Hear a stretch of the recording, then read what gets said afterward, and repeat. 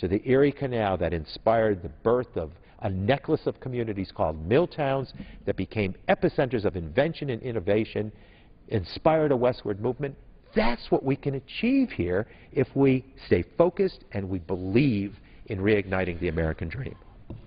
The reigniting of the American dream is going to depend upon, once again, those small businesses out there, the entrepreneurs that are willing to take the risks, that are willing to take their concept and their idea and put it into a business. Along the way, the history of America, as you well described it with the Erie Canal, we can look at all of the other great industrial advances that have been made, has always been a partnership between the government and the uh, individual companies and entrepreneurs that are out there. For example, the oil industry has enjoyed for more than a century over $13 billion a year of tax subsidies to encourage the production of oil. And it was an incredibly successful partnership between the government, not only with tax subsidies, but making the public lands available for the uh, exploration and the extraction of oil uh, over the last hundred years, creating the wealthiest industry in the world. Now, once an industry has matured, as has the oil industry, we should remove those subsidies and use those subsidies for the new industries that we need. We've been discussing for the last, well, since Carter and the first oil embargo, the need for American energy security. Most people now believe that American energy security is based is going to be based upon the continuation of the oil industry and the coal industry at some level using the natural gas that we now find that is more plentiful than we once thought as a bridge. Let the oil and the uh, coal industries uh, wane while we build the renewable industry. And so if we took those tax subsidies that the oil and coal industry have enjoyed for a century, shifted them to the new industries, we could then see a blossoming of the green industries.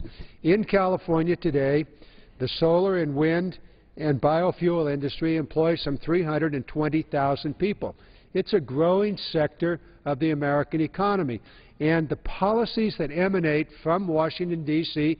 can either help or hinder that growth.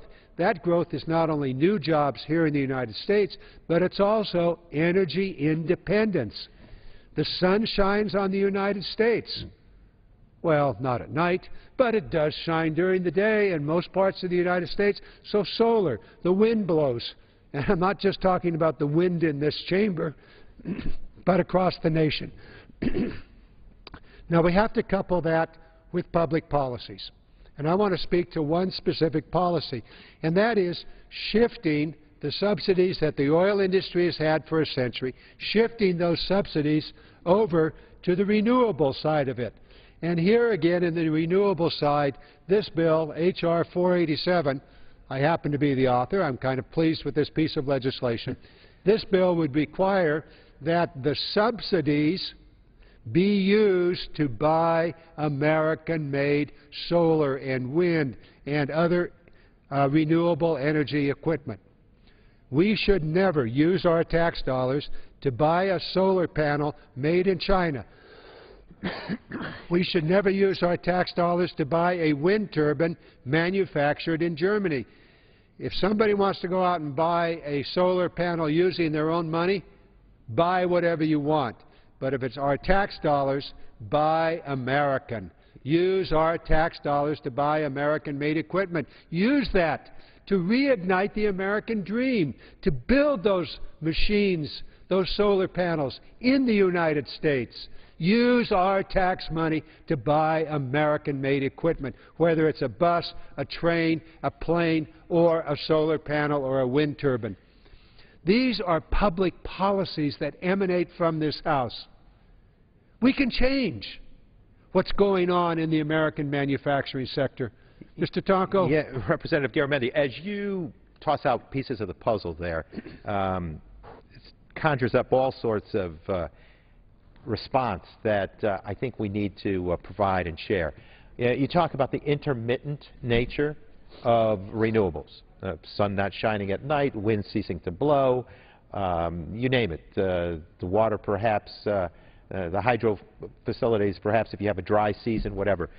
We need to advance the, the notion of the battery as the linchpin to move forward aggressively with a sustainable agenda which renewables can provide.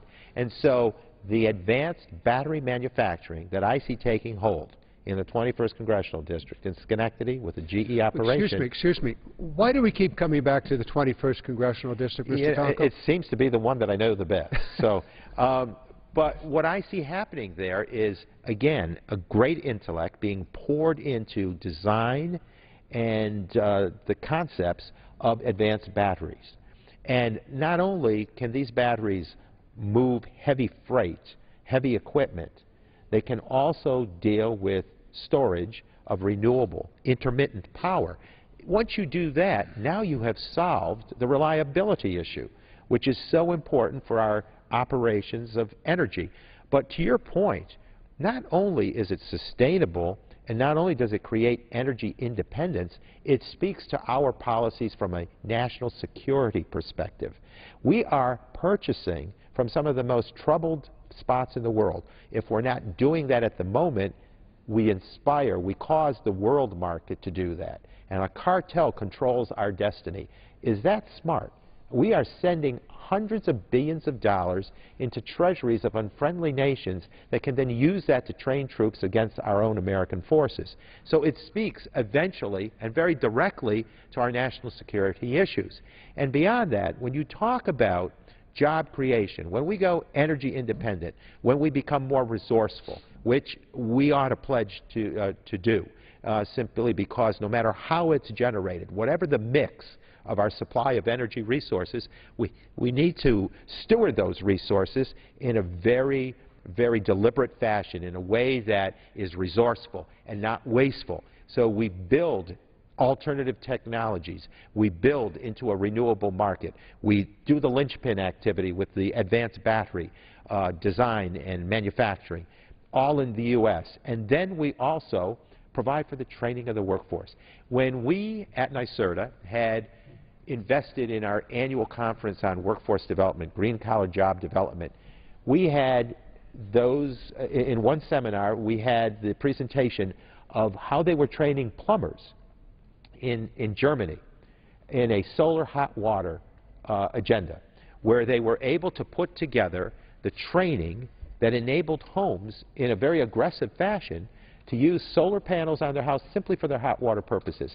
What that couldn't do for a state like California, a state like New York, and then in mass, cumulatively, for the nation, is an incredible savings to our environment, to our job creation, uh, and to energy costs. Absolutely important. And households will do well, jobs will be created, the environment will be better addressed. And isn't that the goal of, of a think tank like the House of Representatives? Instead, why did we ignore manufacturing? For a decade and a half? Why did we avoid dealing with agriculture? Why did we not get into sound energy policy? I ran for this seat simply driven primarily by the lack of a comprehensive energy plan for this nation. How can a nation as great as the United States, with all of its small business, all of its manufacturing, its industrial sector, its households demanding a better outcome for energy, how could we not develop a comprehensive energy plan? It's what the President has asked us to do. He has challenged us. He's challenged us with fairness in the tax code. He has challenged us in a way that will inspire the reigniting of the American dream driven by that notion of small business support, entrepreneur uh, nurturing, and a thriving middle class. It's achievable, and what I would say, we have the format out there, we have the plan, we have work to do. Let's move forward. There are so many pieces to this puzzle. You've talked about the research, you've talked about the support of new uh, businesses, particularly in the clean energy sector. Uh, as we discuss those things, I keep thinking about what is happening, I think very unfortunately, in this debate. It's a political year, and we've got our elections. We have the election of the President and the Senate.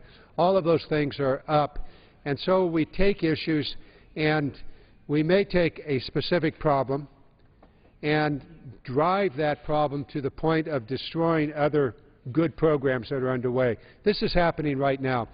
The Solyndra case. Three times on the floor today I heard the, the word Solyndra come up. This was a problem. This was a company that was supported by a, by a, a, a loan guarantee, and it failed. It largely failed because of China's policy of dumping, dumping onto the American market underpriced solar cells. That's why the company failed. Now, we have the opportunity to deal with this, but before I get to how we can deal with that China problem, I want to just ask my Republican colleagues to be very, very careful as they drive this political issue. Because they may succeed in making this a big political issue for this country, but by doing so, they may cause America to turn its attention away from renewable energy. The very issue you raised, Mr. Tonko, we have to have energy security, and renewable energy of all kinds is going to be part of that. So we must be very careful. Whatever political advantage there may be to the Solyndra case, be aware, America, that underlying this is an extremely important policy in the United States to achieve energy independence, to free ourselves from the slavery of the oil barons and dictators around the world so that we can have an energy, a secure energy system in the United States. It will, by necessity, involve renewable energy. Solyndra is a problem. Making it into a political problem, okay, but don't turn Americans' view and hopes away from the renewable, clean energy sector.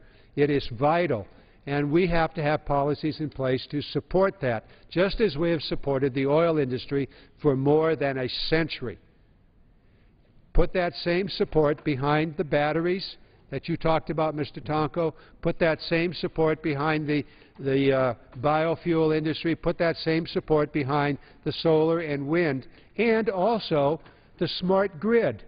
Right now, in my district, Lawrence Livermore Labs is looking at developing a research program on how to integrate these um, renewable and variable energy systems into the grid so that they all mesh. And provide the energy that is needed by America as it changes hour by hour across the United States. A very, very important research project. All of these things come back to government policy and support. So we must be very careful about that. I do want to take up the China currency issue and the dumping of, in this case, solar cells on the American market. Would you like to start that discussion, Mr. Well, you know, just on the grid thing, I would like to make a comment because sometimes it's like we're challenged so that we can walk away from the challenge of the moment, and it's not the best thing for us. In 2003, this nation witnessed the blackout from Ohio right through southern Canada into the great Northeast, New England, New York, and some of the eastern seacoast, all driven by failure in the grid system.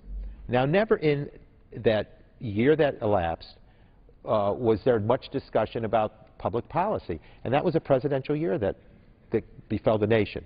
And it just does not get talked up. Now, finally, historic amounts of investment through the Recovery Act were made in the grid system and challenging us to step it up, do what's required to use state-of-the-art opportunities for smart grid, smart thermostats, smart meters enabling people to have more control, more destiny over their energy usage, over their energy bills, making certain that, again, we pour ourselves into an investment of, of a unique type, an historic investment that enables us to go forward with the sorts of responses that we need. We need the arteries and veins, the transmission and distribution system to wheel the electrons to the workplace, the home place, as it's required.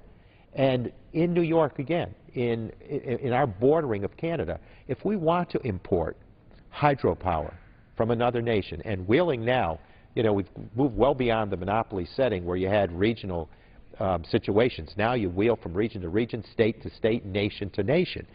We need upgrades in the system just to transport uh, the, uh, the electrons that are required. It's, it's not if we're going to do it, it's when we're going to do it.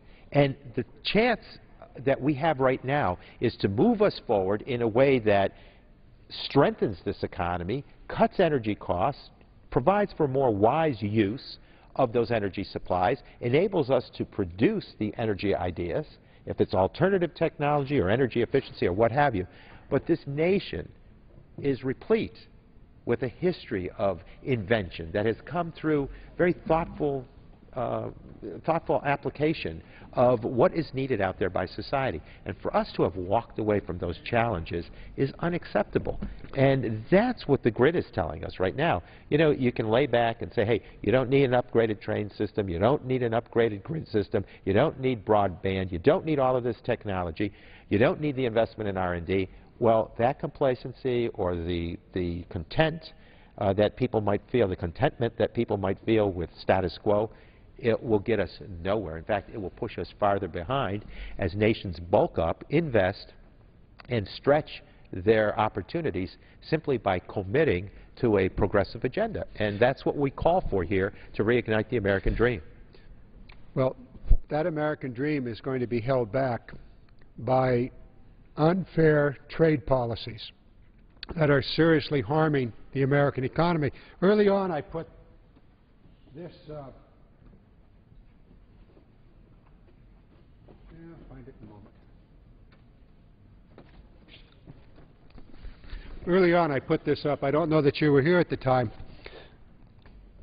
This is the American trade deficit. Much of this deficit is a deficit in trade with China. A lot of that deficit is caused by Chinese currency manipulation.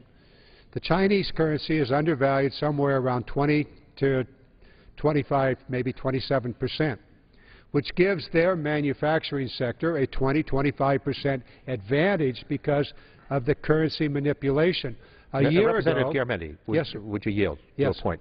I believe I saw earlier a chart that you had on manufacturing jobs. Yes. Could you just like put that one up on the easel over the over that pattern there and and point to the to the 97 to to uh, 2009 curve and it's uh, a startling mimicking those two graphs absolutely mimic each other and I think you can draw a correlation there that deals with the loss of manufacturing jobs as it relates to the trade deficit. And I think that is something that ought to guide our discussions, guide our policy development, and actually address the sort of response we need in terms of job creation, job retention. The, thank you. I really hadn't noticed, but they're almost parallel. One is right on top of the other. You can put that blue line, and it copies the red line, that is the growth in the American trade deficit. I want to just deal with this China thing quickly. We only have another seven minutes here uh, before we uh, yield the floor. A year ago, this House, with both Republican and Democrat support, passed the China currency legislation that would require the Department of Commerce to put a countervailing tariff on imported Chinese goods. If that trade, if that currency manipulation were to continue. It went over to the Senate. It did not pass the Senate. This year, I should say this session, in 2011, the Senate passed a similar bill that would impose a countervailing tariff on Chinese goods as long as China maintained its currency manipulation. Came over to the House nearly seven months ago. The Speaker and the Republicans have refused to take up that bill, the very same bill that a previous year we voted on bipartisan. This is an important piece of legislation because it would deal with this issue, two issues, the loss of American manufacturing jobs and the extraordinary trade deficit that is the export of American money to China. It is the policy behind many of the problems in the manufacturing sector.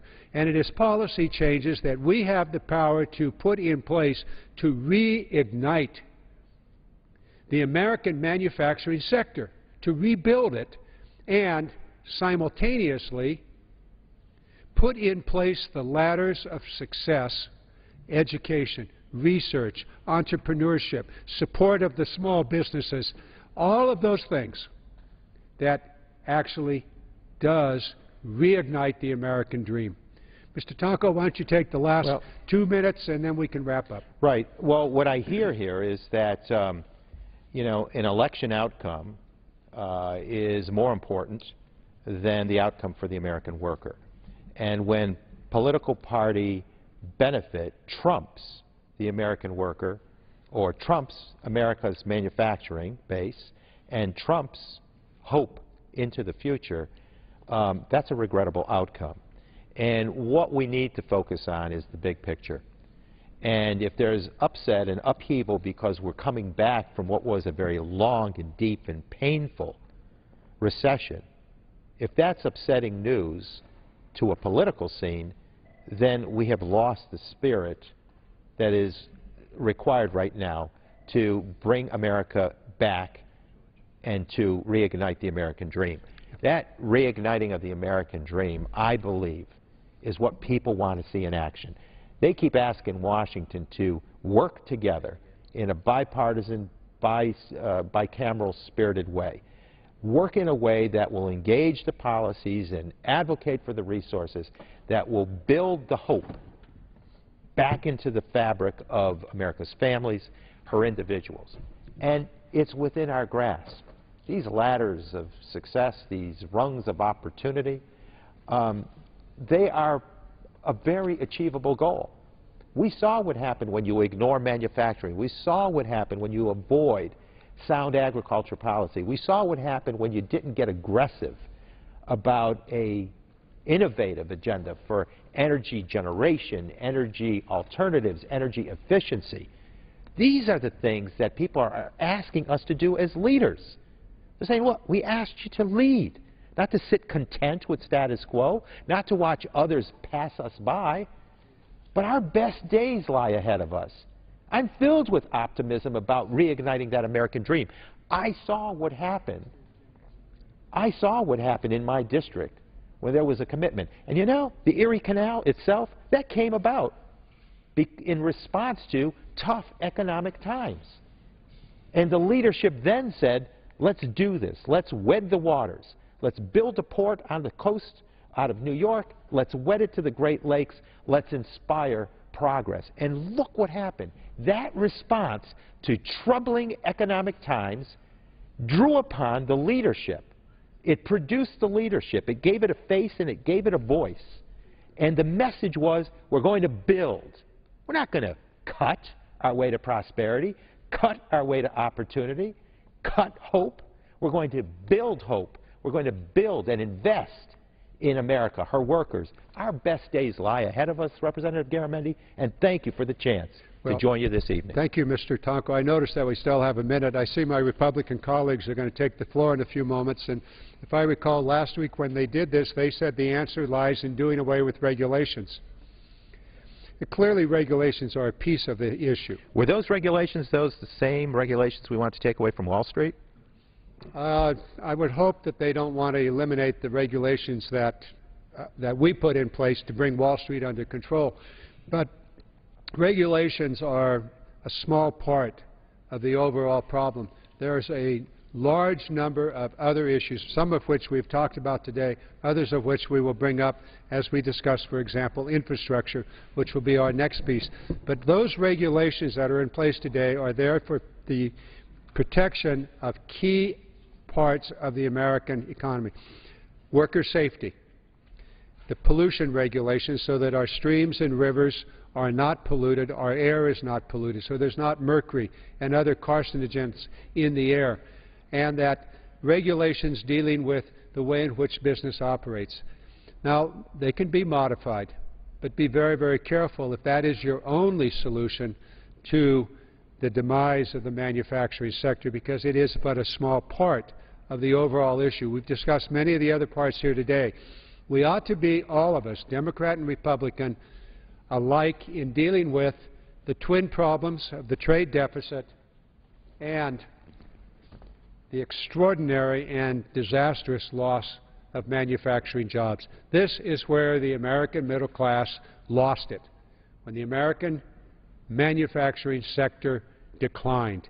We can rebuild it with wise public policies. Wise public policies are what we ought to be doing, rebuilding the, the American manufacturing sector and reigniting the American dream as we do that. Mr. Speaker, Mr. Tonko and I yield back. Under the Speaker's announced policy of January 5, 2011, the Chair recognizes the gentleman from Iowa, Mr. King, for 30 minutes.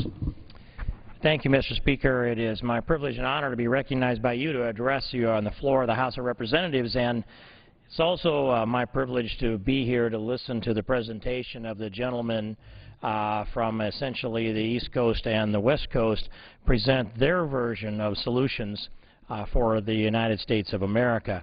And if I could just take that, uh, Mr. Speaker, and, and roll it backwards from uh, bottom to top rather than top to bottom, I hear the concern, and I share concerns, about the loss of American manufacturing and the loss of American trade and the trade deficit that we do have.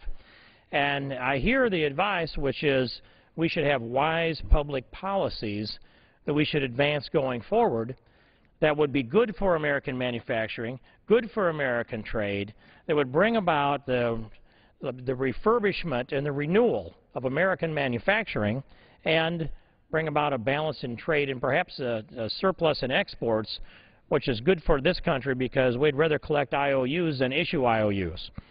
I agree with the gentleman on both of those points.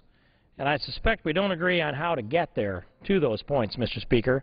But uh, I would make this point that the United States has been a very strong industrial nation. In fact, in the, at the end of World War II, we were the only industrialized nation in the world that had a, an, an established global, globally competitive industry that had not been devastated by the war.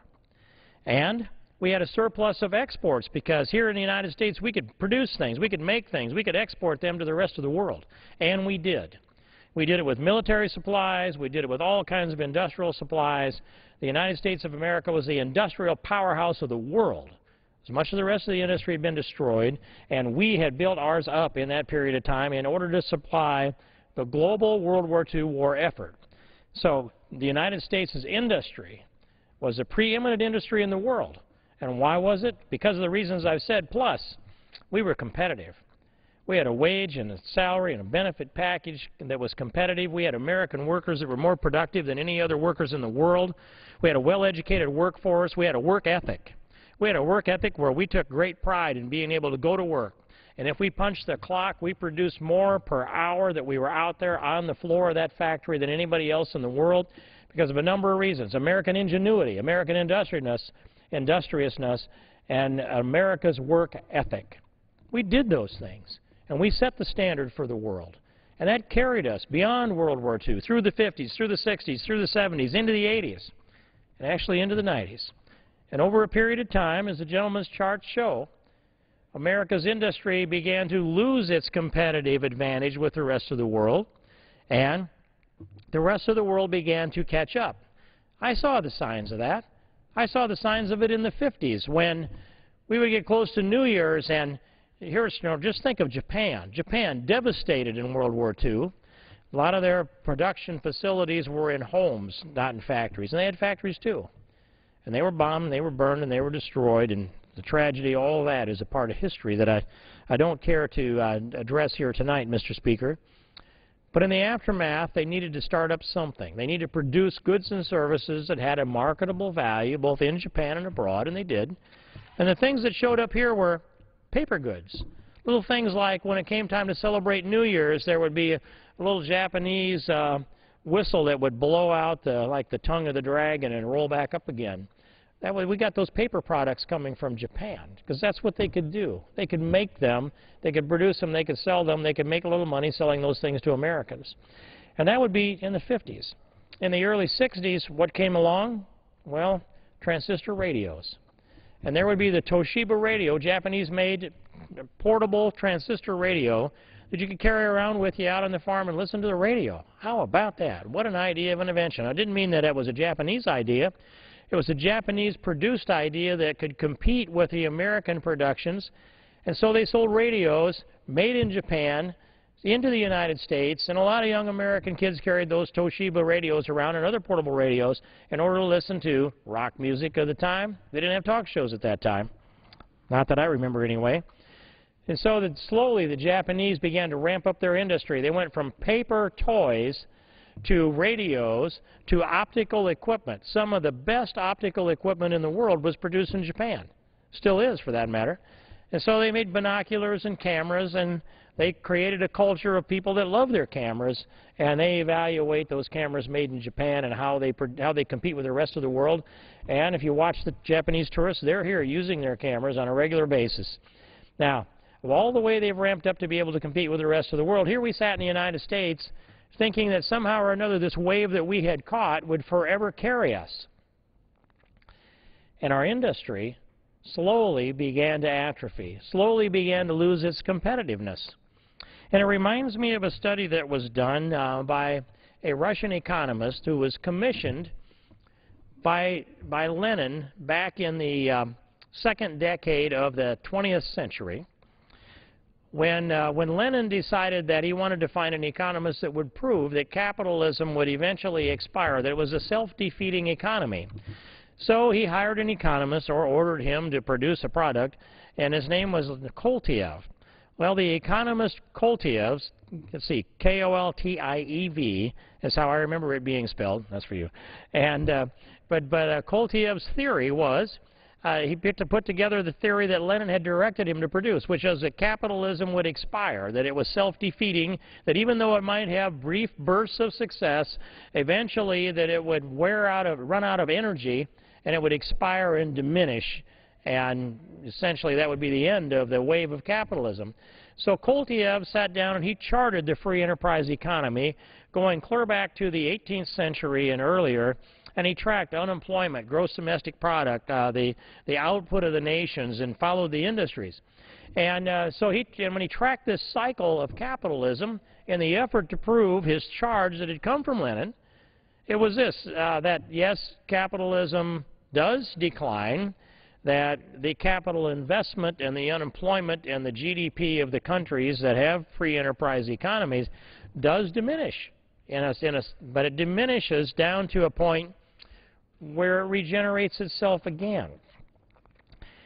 And when looked at, and this was a study that was back in the dusty volumes at MIT University and much forgotten about until there was a computer study that was done, and somebody remembered that they had read the read Koltiev's study that was back in the annals at MIT.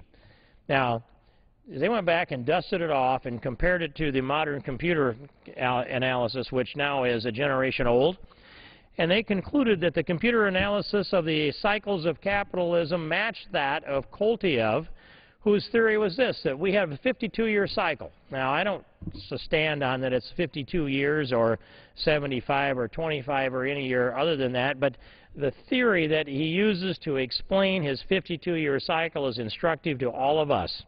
And that's this, that when you hit the bottom economically, when your GDP has bottomed out, when your unemployment rate is at the top and when your capital investment is at the bottom, you look around as a society, a culture, and an economy, and you, you think, we have to do something. What are we going to do? And the psychology of that is that all of us sitting at the bottom of the economic cycle with high unemployment, low GDP, and low capital investment, we see that if we keep doing the same thing over and over again, we're going to end up with the same result. And we don't like where we are. We don't want to be where we are in four or five or 10 or 20 years or a generation or two, so what will we do that's different? And I've lived through this uh, time or two, especially during the farm crisis years of the 80s, when I saw that land values were spiraling downwards to perhaps as low as a third of what they were just a few years before. Market prices going downwards the same way. We rely on rain. It couldn't rain. The markets uh, didn't produce a value for the crops that could be raised, and the land values went down. Everything was spiraling downwards. But what was going on was the manifestation of Koltiev's theory was springing up. And people who had no immediate hope economically began to put together a strategy for the long term so that we would have a successful economy. And it, and it matched almost perfectly with Koltiev's theory, the Russian economist's theory, which is that when your economic cycle reaches the bottom and everything is sitting down here with the low capital investment, high unemployment, low GDP, people are looking for a way to solve those problems. So their creativity kicks in.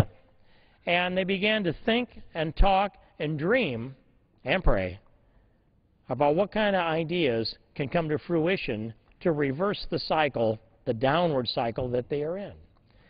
And so they began to come up with new inventions, and they come up with new efficiencies. They come up with new business models, and as these ideas are generated, the ideas have to catch the kind of energy that can attract capital. Now, there's not as much capital in a low economy as there is a high economy, but there's much more demand for it. And, and so you go out with your ideas and you market them and you attract the capital to generate these ideas. This is what we did during the, when they, when, at the beginning of the dot-com bubble. If you remember that we learned here the creativity of a bad economic cycle was a contributing factor to developing the microchip and the ability to store and transfer information more effectively and more efficiently than ever before. And thus was born the dot-com bubble, the creation of the boom of the dot-com.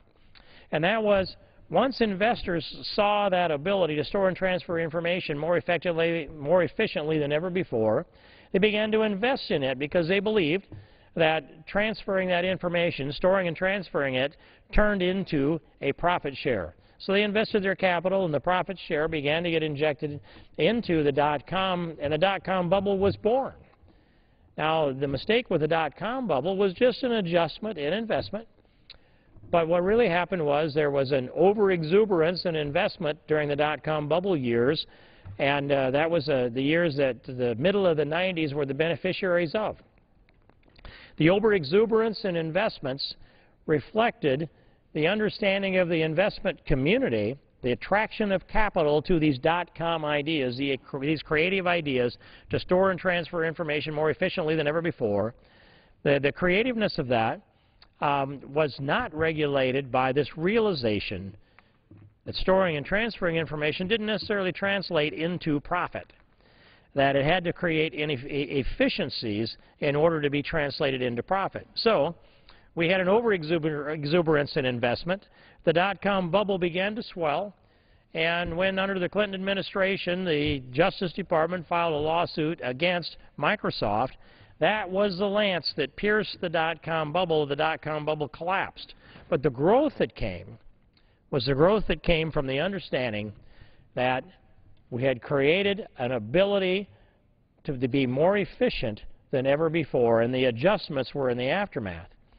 Well, that fits exactly within Koltiev's theory. We had hit the bottom economically. The creative people were looking around for something that they could do to change that paradigm. And what they came up with was the microchip and the other tools of software that allowed us to store and transfer information more efficiently than ever before. And being able to do that caused people to invest more, start new businesses, to transfer efficiencies around the country and to, in, to, increase our efficiencies. If you think, for example, just in the trucking industry, the software packages that would, that would allow truck dispatchers to click the mouse rather than make a, a, judgment decision and send a truck to Portland that you could drop a load off there and go to Seattle and circle back through uh, Montana and drop off a load and come back to the warehouse in, say, Des Moines, for example. Much more efficiencies were created by software packages that made much more efficiencies were created by software packages that made the decisions instead of fallible mortals that were using judgment calls while they were under stress on the fly. All of those things fit back to Koltiev's theory, his theory that during hard economic times, you would generate ideas. Some of those would be good ideas. The good ideas would attract capital. The capital would be invested. The invested capital would bring about new technology. The new technology would bring about increased efficiencies. Increased efficiencies, increased productivity. Increased productivity, increase the GDP, the gross domestic product. Increased GDP, of course, was good for the wealth of the nation. And once you reach the apex of the growth in the GDP, you ended up with a sense of success, a success of complacency. We have arrived, we've invested our capital, we've invented our new methods to produce more goods and services more efficiently than ever before, and we've translated that into profits, and now let's just keep this ball rolling down the road. Well, as you keep the ball rolling down the road, you don't realize it at the time, but the complacency of the continued day-to-day excess the day-to-day success brings about that idea of, well, let's just hold on. Let's not create new. Let's just ride this out.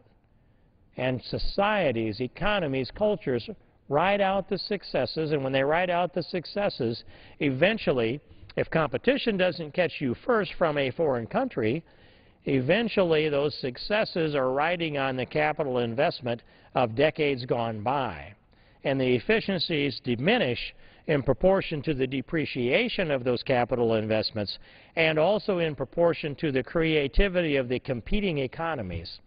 And when that happens, you don't know it, but you're going downhill. I think of a poster that I saw in a friend of mine's house um, years and years ago. And it's a picture of a little boy sitting on a tricycle, and he has his hands on the handlebars, and his feet up off the pedals, and he's got a big grin on his face, and his hair is blowing back behind his head, and underneath the poster, underneath the, the poster picture, it says, if you're coasting, you're going downhill. Well, Mr. Speaker, there are many economies in the world throughout history that have reached the apex of their growth. And they have decided they like where they are, they get complacent, and they begin to coast. And if they're coasting, they're going downhill. Well, each economy, each society, each culture gets to that point where they start to coast and they go downhill. And the societies and the cultures that see it a different way, that understand that you have to constantly be innovating, you have to constantly be creating, you have to constantly find a way to be more competitive, they're the ones that show up in the Super Bowl of the global economy. And so when I listen to my colleagues from the East Coast and the West Coast talk about what's wrong and what we need to fix, and we need manufacturing jobs, and that, that we've exported these jobs overseas, I would say to them, but you've been advocates for the policies that are protectionism. You've tried to protect the union jobs in the United States. You've opposed the free trade agreements that we've negotiated with foreign countries, including South Korea and Panama and Colombia.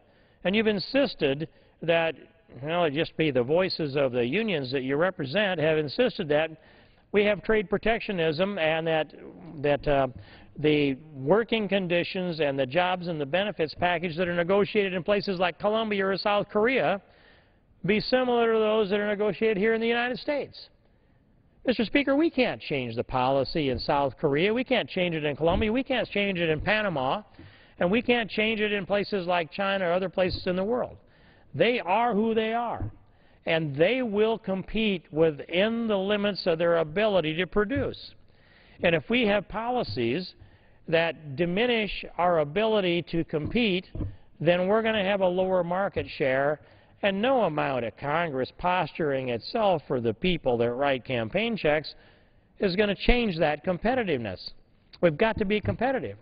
And so what would I advocate, Mr. Speaker? What is my solution for this? And I could go down through the list. You know, they talked about the American dream, and they talked about trade agreements, and they talked about manufacturing jobs and exporting our jobs overseas and the export of American manufacturing to China. They talked about trade protectionism, and they want to reignite the American dream. Reignite it.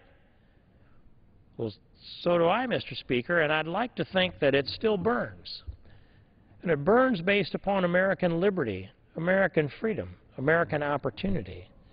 And what makes this country great? You wonderful discussion to have between Democrats and Republicans here, Mr. Speaker, of the United States Congress. We seldom have any discussion like that. What makes this country great?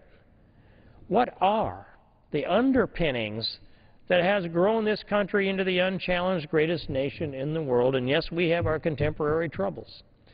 We remain the unchallenged greatest nation in the world economically, culturally, militarily, politically.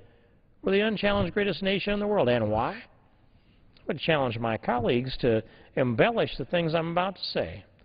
But I would say this. We have God-given rights, God-given liberty. And this is not a manifestation of Steve King in the modern world in 2012 telling you something right now, Mr. Speaker. This was a deep conviction of the American founders that we have rights that come directly from God. We get our rights from God. We don't, we don't get them from man. We don't get them from government. If government gives us rights, then who are we if government decides to take our rights away? Who, who are we to complain? They're the all-powerful. They're the omnipotent, the government. But our rights come from God, and our founding fathers all knew it and they signed off on the Declaration of Independence. We're endowed by our creators with certain unalienable rights. These are the rights that are the foundation of American vigor. And if you think about the breadth of what this means, you know, America has received immigrants from donor nations all over the world. I believe every nation in the world. And why do they come here? Because they're inspired by the American dream. The image of the Statue of, Limit, Statue of, uh, of Liberty, not necessarily the inscription, but the image of the Statue of Liberty. It says, all of you who come here legally into the United States have an opportunity to access the American dream. And when you access the American dream, you have an obligation to leave this country and this world a better place than it was when you came. And into that bargain is this. God-given rights. The only country in the world, in the history of the world, that's been founded upon that principle. Now, others might aspire to it. Others might look across the ocean here to the United States and aspire to God-given liberty, but this is the only nation in the world that's founded upon it. And the beacon that comes out of the Statue of Liberty, the beacon of that liberty itself is what attracts people here to the United States. And when they get on that ship, or on that plane, or excuse me, or whatever their method of transportation is to legally come into the United States. They come for the dream.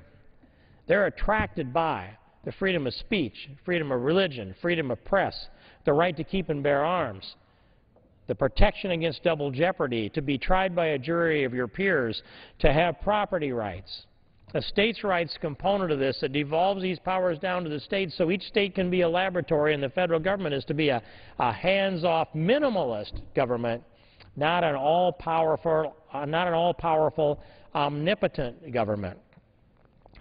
And so, Mr. Speaker, that vision, that attraction, that magnetism of American liberty brings people from all over the world here into the United States. And who does it bring? We have the Visa lottery, all right. And even that gets a better cross-section of the global humanity than you would have if you just went out and you did a random selection of six-plus billion people on the planet and brought 50,000 in under the Visa lottery. At least those that sign up for the Visa lottery have a dream. They want to come to America, and 50,000 a year uh, get lucky and cash in on the Visa lottery. Now, I think it's a bad policy and you add the Visa lottery to the family reunification plan and a number of other plans that we have, and anywhere between 93 and 89 percent of the legal immigrants in America are not measured by their merit, not measured by their ability to contribute to the United States. They're measured just simply by their ability, their desire to come here if they have a family member to come and join, or if they got lucky in the visa lottery, or if they happen to receive asylum as directed by the Secretary of State or some other method. But we only have between 7 and 11 percent of legal American immigration where we actually set the criteria here in this country. And you know the Constitution says that our job is to, the Congress has an authority to establish an uniform form of immigration. Well, uniform to me would mean a standard for everybody that comes into the United States, and I would set that policy to reward those people that could most contribute to the United States of America. Why wouldn't you have an immigration policy designed to enhance the economic, social, and cultural well-being of the United States? Excuse me. That's the logic and the rationale that we had when the Constitution was drafted, and when it was ratified, it should be our logic and our rationale today, Mr. Speaker. But what's good? There are many good things about our immigration policy, but what's good, in particular, is that it has attracted the cream of the crop of every donor civilization on the planet.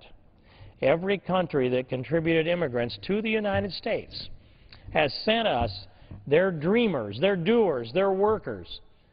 Those people that wanted to access the American liberty and develop out the American dream. Excuse me.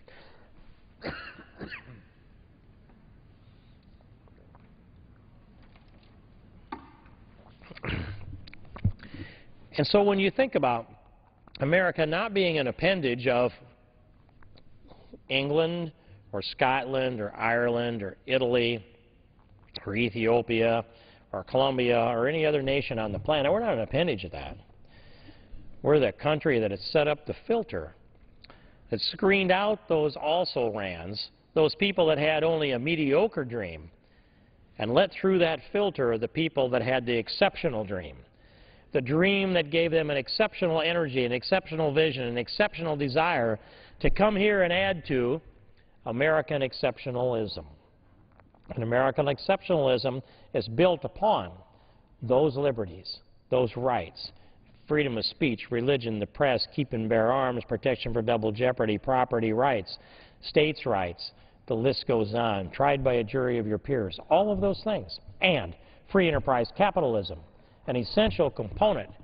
And if you want to be naturalized into the United States and you want to study the naturalization for the naturalization test, the flash, the flash cards, uh, the glossy flash cards put out by CIS, Citizenship Immigration Services, that you can use to study to become a naturalized American citizen. They have these little flashcards, and you look at them, and on one side it'll say a question such as, who's the father of our country? Snap it over, and it says, we all know the answer, Mr. Speaker, George Washington. Then uh, pick up the next card, and it might say, who emancipated, emancipated the slaves? Snap it over. Abraham Lincoln. Next card. What is the economic system of the United States of America? The president might flunk this, but the answer is, snap it over, free enterprise capitalism. Those are principles that give us American vigor. And when you look at the American vigor and the component of that, and the, and the American vigor that comes from a filter, the filter of the difficulty of legally coming into the United States that skimmed the also-rans out and skimmed the, uh, the global vigor in, and redirected them into the United States. We have this thing. The dreamers came to America. The doers came to America. We are an American vigorous civilization and society of people who came here because they wanted more opportunity than they had in the country that they left. There was only one place they could go that has the opportunity uh, that matches that, and it's the United States of America. They came here to do, and they did. They came for religious freedom. They came to raise their families. They came to leave this country a better place than it was, and they succeeded in all of that. And, Mr. Speaker, the United States of America is the unchallenged greatest nation in the world because of the fundamental principles, the fundamental rights, the fundamental American liberty, that exercised by dreamers and doers who stood on principle, who came here for religious freedom, for economic freedom, for property rights, for all of the things that are listed and laid out in the Bill of Rights. And they were not just a mediocre cross-section of the global population.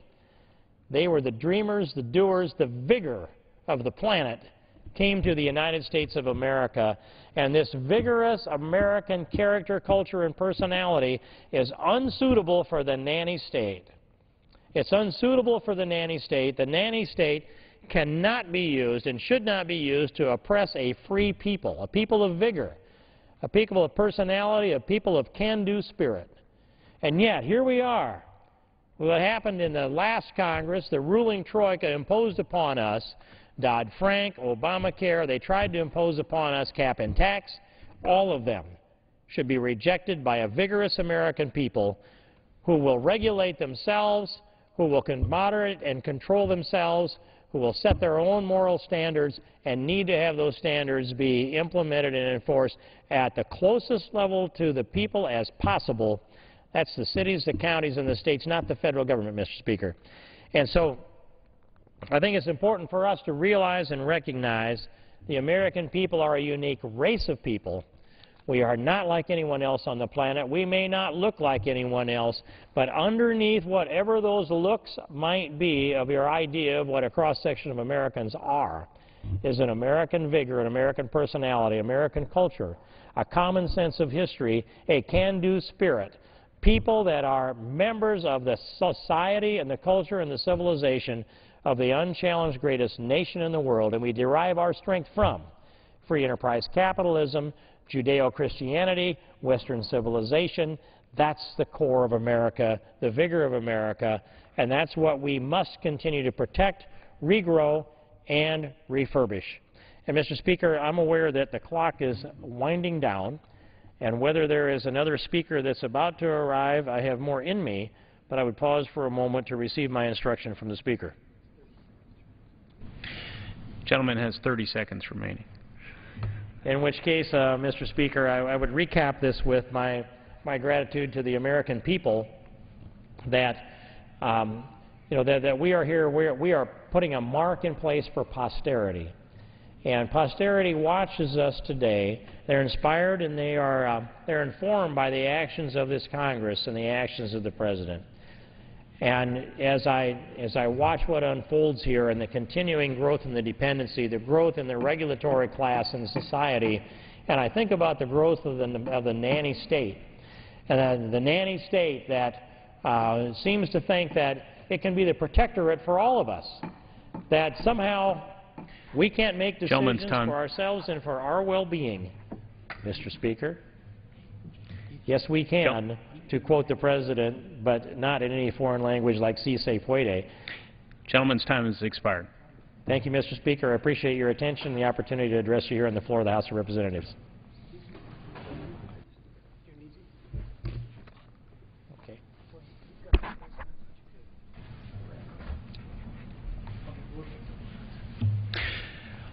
Under the Speaker's announced policy of January 5, 2011, the Chair recognizes the gentleman from Maryland, Mr. Bartlett, for 30 minutes.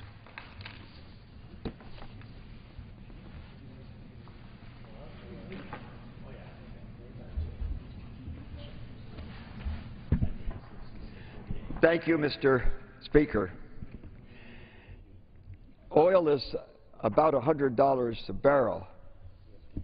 We're in a recession. The United States, uh, just a couple of years ago, used 22 million barrels of oil to, a day. Now we're using less than 19 million barrels of oil a day, and still oil is $100 a barrel in the middle of a recession. We're also producing more oil in our country than we did last year for the first time since 1970. The production of oil has increased this last year. Every year before that, the production of oil was lower than it was the preceding year. Now with the Bakken oil, we're producing a bit more than we did last year. So why, with increased oil production, decreased oil use in the middle of a recession, should oil still be $100 a barrel? This is uh, really hurting our economy. It increases the cost of uh, just about everything we use. Because if you've got it, a truck probably brought it. And the increased fuel cost increased the cost of just about everything, therefore, that we have. I believe the most important uh, speech given the last century was given in 1956 on the 8th day of March in San Antonio, Texas, by an oil geologist known as M. King Hubbert. We need to put his speech in context. At that time, the United States was king of oil. We produced more oil, we used more oil, we exported more oil than any other country in the world. On this uh, eighth day of March in 1956, M. King Hubbert made a, an astounding prediction. He said that in just 14 years, the United States would reach its maximum oil production. He wasn't sure what that number would be, but he made the prediction that we would reach our maximum production in 1970, just 14 years later, and no matter what we did, it would continue to go down after that. And from 1970 until about a year or so ago, that was true. Here I have a uh, chart that shows what has happened to uh, oil production in our country. A whole lot of it comes from Texas, as you can see from the lower dark blue below, and the rest of the United States, the lighter blue above. The uh, kind of orange here is natural gas liquids. That's not in your gas tank. That's propane and butane and chemicals like that. M. King Hubbert predicted uh, using only the uh, contiguous 48.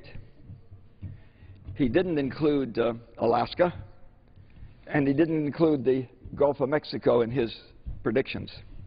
He made that prediction in 1956, about here. In 1970, as you can see here, we reached our maximum production in the lower 48, and it went down pretty consistently after that. Then we found oil in Alaska, a lot of it. And there was a little blip on the way down when you add that to the oil from the rest of the United States and Texas. And then a little later there was the fabled uh, discoveries of oil in the Gulf of Mexico, and you can see what that did just uh, can hardly see the blip there. A lot of oil, but we use a lot of oil. The world uses a billion barrels of oil every 12 days. It's pretty simple arithmetic. 84 million barrels a day by about 12, that's a thousand and million, and that's a billion barrels of oil in every 12 uh, days. Here is a, uh, oh, by the way, the M. King Hubbert that predicted that the United States was going to peak in 1970. Of course, he became a legend in his own time because he lived well beyond that. And he was exactly right, relegated to the lunatic fringe for maybe 15 years or so. He became a celebrity after his predictions came true. And he predicted that uh, what happened to the United States had to happen to the world. Oil is finite. One day it will run out. One day we will reach our maximum production, after which it will tail off after that in the world just as it did in the United States.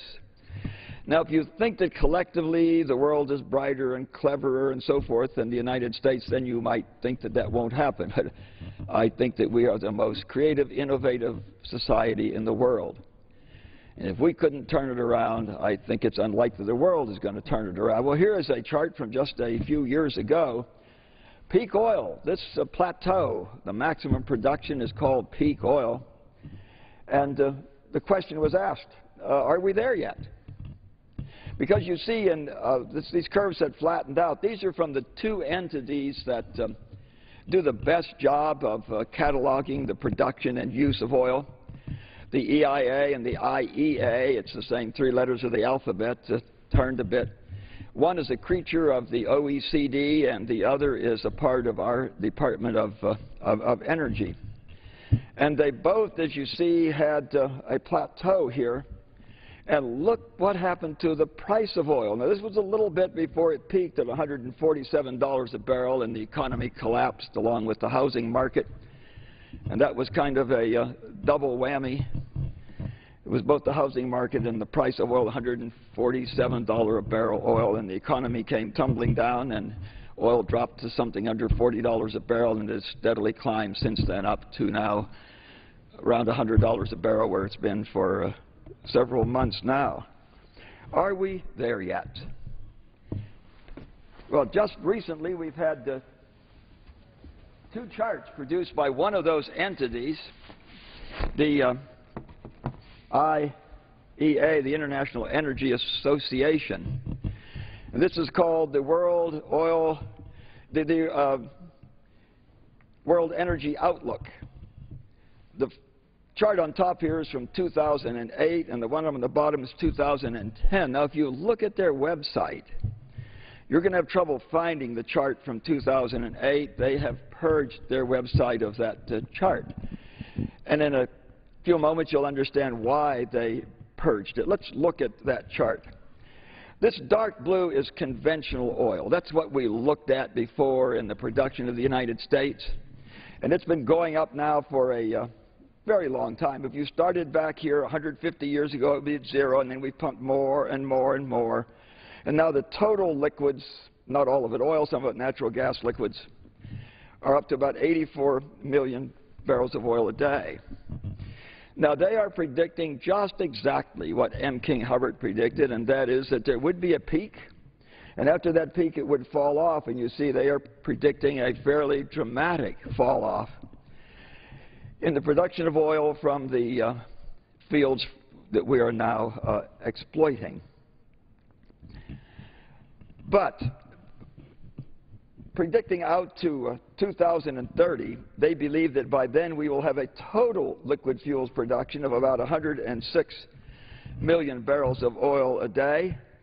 That will be made up of increasing amounts of natural gas liquids, and that will happen. We've found a lot of natural uh, gas, and uh, so those will increase. The uh, green here is non-conventional oil. That's going to also increase. That's oil like the um, tar sands of Alberta, Canada that won't flow. You have to uh, lift it with a 100-ton shovel and put it in a truck that hauls 400 tons, and then you cook it what we call stranded natural gas. That's natural gas where there aren't very many people to use it, so it's kind of stranded, and so its price is less. So you can afford to cook this oil with it. And that's going to grow, too, some. And then they make uh, two predictions here. That this light blue is production from fields that we've found but are too difficult to develop. Like a field found in the uh, Gulf of Mexico under 7,000 feet of water and uh, 30,000 feet of rock. I heard a number, I have no idea how you get this precise, but it was said that when oil was $111 a barrel, they could afford to develop this uh, field. So this is projected production from fields that we have found but are, with the current price of oil, too difficult to develop, uneconomically feasible to develop. And then the uh, bright red here are fields yet to be discovered. The uh, dark red here really belongs as a part of the uh, oil down here. It's a little bit of additional conventional oil we've gotten by what we called enhanced oil recovery. That's pumping some live steam down there or pumping some CO2 down there or in Saudi Arabia pushing some seawater down there. And some of their wells are now are producing seven times as much seawater as oil, but it's okay because they can separate the seawater from the, from the oil. Okay, two things about this um, uh, chart.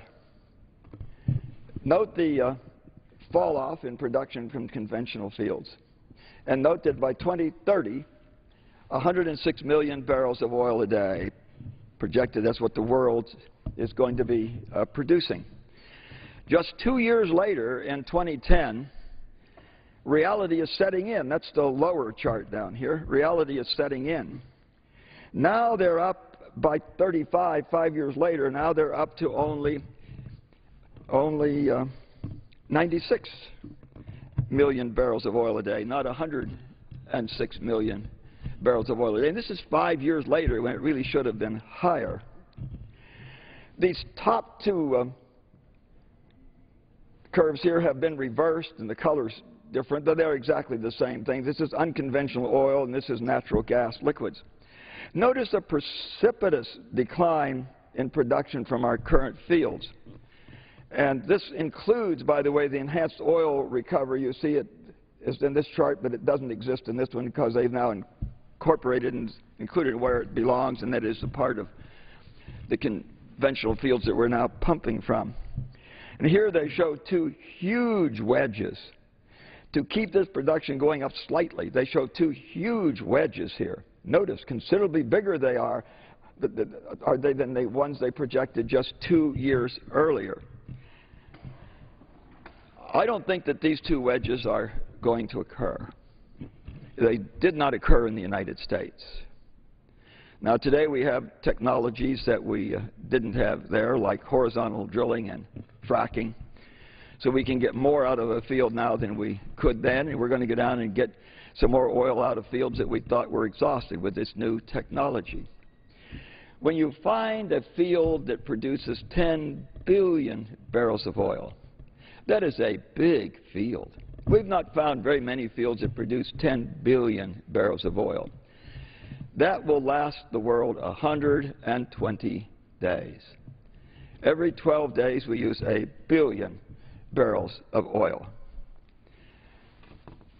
Now I think you can see why you can no longer find this projection they made in 2008 in their website because it is just not consistent with the reality that they are forced to use in projecting here in just last year, 2010.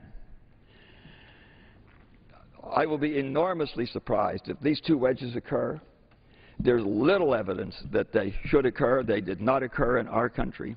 Unless you think the world is incredibly more capable than the United States, then you'll have some doubts as to whether those two wedges will occur or not. If they don't, this top curve is going to tip over for the world just exactly the way it did for the United States. We're not running out of oil. Many people who are disparaging, people who talk about peak oil will say, say that the peak oil people say we're running out of oil. We are not running out of oil. There is a lot of oil out there. There is more oil out there, more oil out there to be pumped than all the oil that we have pumped in the last 150 years. What we're running out of is our ability to pump that oil as fast as we would like to use it. This next chart is an interesting one. And it kind of puts what we're talking about in uh, perspective. The world according to oil. This is what the uh, world would look like if the size of the country was relative to how much oil reserves it had. You see here that Saudi Arabia kind of dominates the planet. They do. For oil reserves, they have, we believe, maybe about 22% uh, of all the reserves in all the world. Now, we aren't quite sure of that because a Wikipedia leak here a few months ago indicated that they may have 40% less oil than they've said. Let me explain what happened back when uh, OPEC could produce more oil than the world needed, and increased production would drive down prices. So they had an agreement in the OPEC nations that you could pump a certain percentage of your reserves. So if you were a country that needed some more revenue, you simply had more reserves. And without finding any new oil, you can look back through history and see that some of them magically had maybe twice the reserves that they had. They didn't find any new fields. They just said they had twice the reserves in the field that they already had. You, then you see they could pump more oil. None of these OPEC nations will let our technical people in to look at their records, so we really do not know how much oil they have. But we believe that it's relatively like this. You see little Kuwait looms huge on the world scene in terms of how much oil they have. Iraq, Iran, huge amounts of oil. Venezuela really dominates our hemisphere, doesn't it? It's bigger than all of the rest of the countries put together in terms of oil reserves. And here we are, the United States. We have 2% of the reserves of oil in the world, and we use 25% of the world's oil, a little less now because our cars get a little better mileage and our economy is down a little, so we're using a little less, but roughly 25% of the world's oil. Our number one importer is Canada. They have less oil than we, but they don't have very many people up there to use it, so they can export it to us. Until a couple of years ago, our number two importer of oil was Mexico. And they also have less than us. Now, they have a lot of people, but their people are too poor to use the oil, so they can export it. But just a few years ago, the second largest oil field in the world, the Cantarell oil field in Mexico, started in rapid decline, declining as much as 20% a year in production. So now Mexico is our number three importer, and Saudi Arabia is now our number two. Mexico has been displaced by Saudi Arabia. Look at China and India over there. Tiny. China with a billion, 300 million people, with India well over a billion people, with an economy in China that's growing, well, in a recession. They've slumped now. They were 16% growth. Now I think they're something like 8% growth, and India's not far behind them. With a static oil production at 84 million barrels a day, and China last year used 6% more oil than they did a year before, where is it coming from? We use less. We used to be 22 million barrels a day. Now we're less than 19 million barrels a day, and some of the poorer countries of the world just can't afford the oil. So they are doing without. This disparity between the people who are using the oil and the people who have the oil are going to set up some huge geopolitical tensions in the world. China last year uh, sold more cars than we sold, and that curve is accelerating. China is now the number one polluter in the world. They just passed us. China is buying up oil all over the world. I wonder why. We have only 2% of the oil in the world, and we use 25% of the oil in the world, and we're not buying oil anywhere. We don't need to, because all you need to do is go to the global oil auction and have enough money and be the high bidder or participate at the bid price, and you get all the oil that you need if there's enough to meet everybody's needs. So why is China buying oil? They aren't buying oil, they're buying goodwill. You need a hospital, soccer field, roads. Simultaneous with uh, buying oil reserves all over the world, China is also aggressively building a blue water navy. They soon will have uh, more ships than we. They aren't our ships yet by a long shot.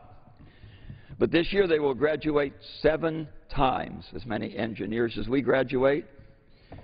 And about half of our engineering students are Chinese mostly and some uh, Indian students.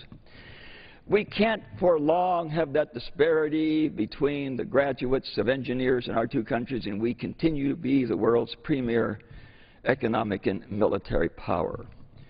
We have got to do something to capture the imagination of our people and encourage our young people to go into careers of science, math, and engineering.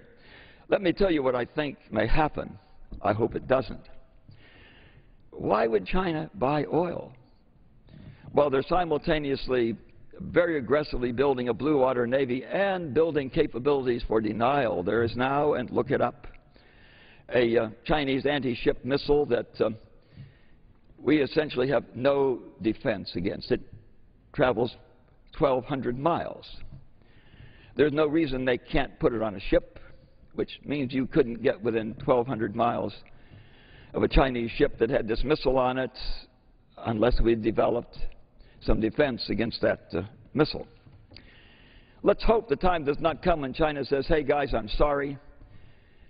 But we have a billion, 300 million people. We have 900 million people in rural areas that through the miracle of communications know the benefits of an industrialized society, and they're saying, hey guys, what about us?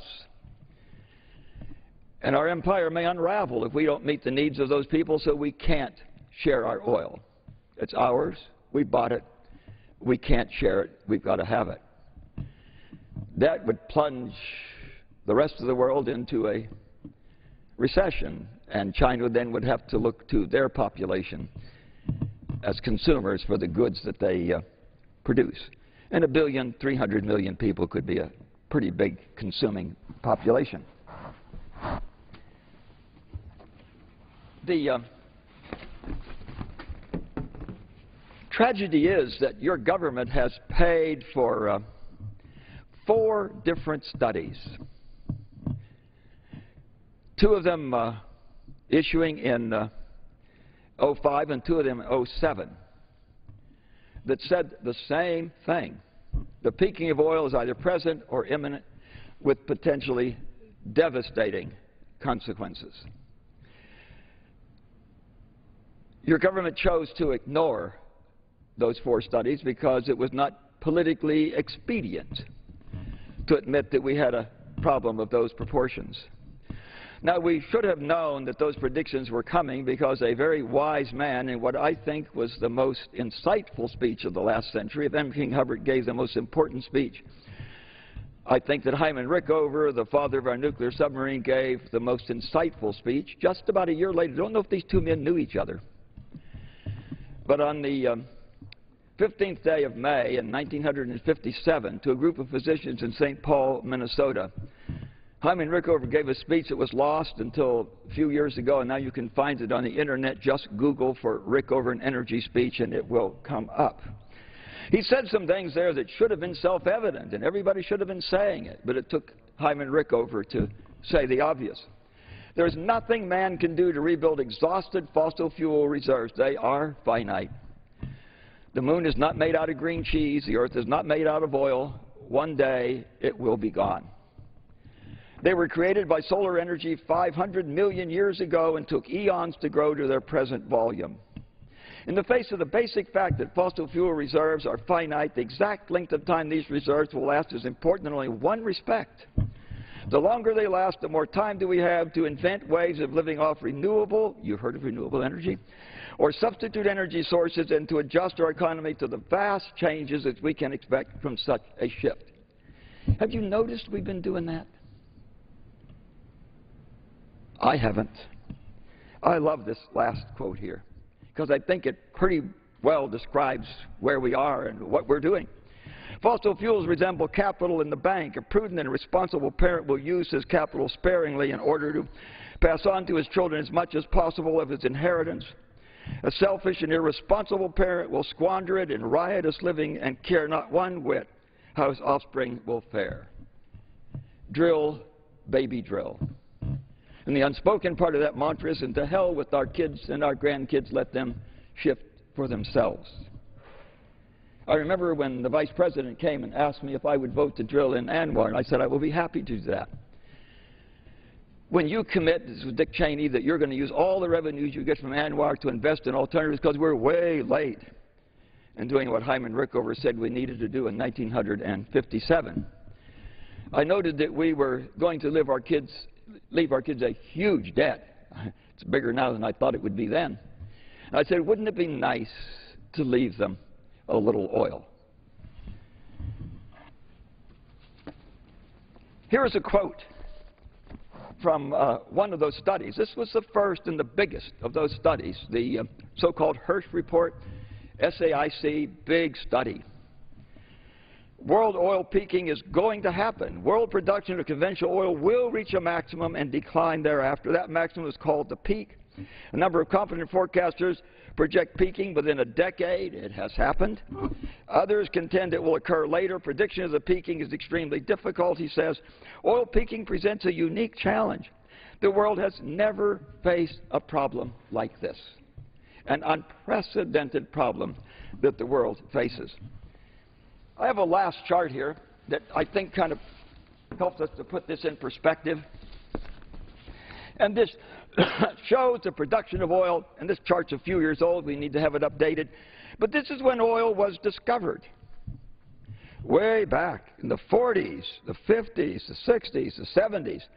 This is the use of oil. By the way, tonight when you do your prayers, thank the um, Islamic world for the uh, oil price spike hikes of the 70s. Look what it did. It woke us up. If they hadn't awakened us and this curve continued, we'd be through the top of the chart by now. Up until the Carter years, it was a stunning statistic. Every 10 years, we used as much oil as had been used in all of previous history. Now look at the slope of that curve. It is much lower than that. Our time is running out and I must yield back, but I will come to the floor again soon and we'll spend quite some time looking at this chart. Because you've got only one chart to look at, where you were going to predict what you thought might happen in the future, I think this would be the chart. Because you look back through history and see what has happened. And then you make a judgment. Wow.